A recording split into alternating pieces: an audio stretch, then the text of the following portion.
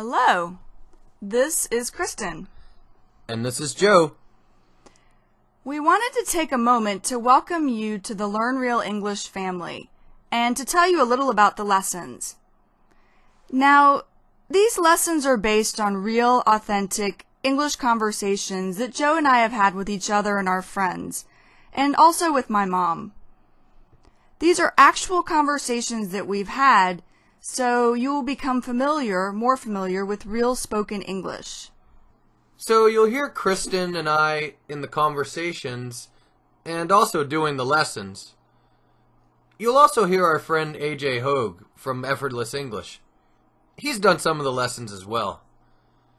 Okay, so now a little bit about the lessons. Each lesson set has a conversation, a vocabulary lesson, and a mini story lesson for you to listen to. And we've also included the text for each of these in case you want to read along as you listen.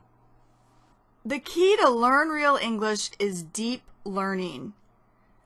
The best way to use these lessons is to listen to one lesson set at a time. You should spend at least one week on each lesson set. Now remember, one lesson set has a conversation, a vocabulary lesson, and a mini story lesson in it. So listen to the lesson set every day for at least one week before moving on to the next set. Even if the lesson set is easy, you should still continue for one week. And if after a week the lesson set is difficult, Continue listening until you have a basic understanding. Also, you want to be sure that you do the lesson sets in order because the ones at the end are more difficult.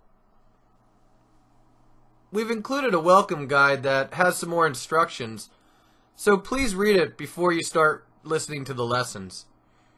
And if you have any questions or comments about the lessons, you can go to our discussion board. It's at www.effortlessenglishforums.com. Okay, so now you're ready to start.